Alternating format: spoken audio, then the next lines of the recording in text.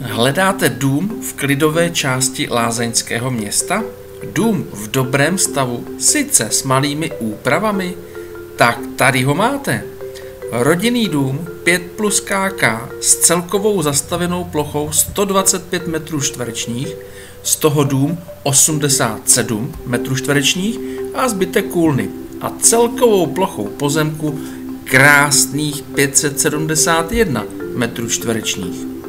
V přízemí chodba se schodištěm, obývací pokoj, ložnice, kuchyň s jídelnou, koupelna se sprchou a své V patře dva pokoje a dvě prostorné šatny.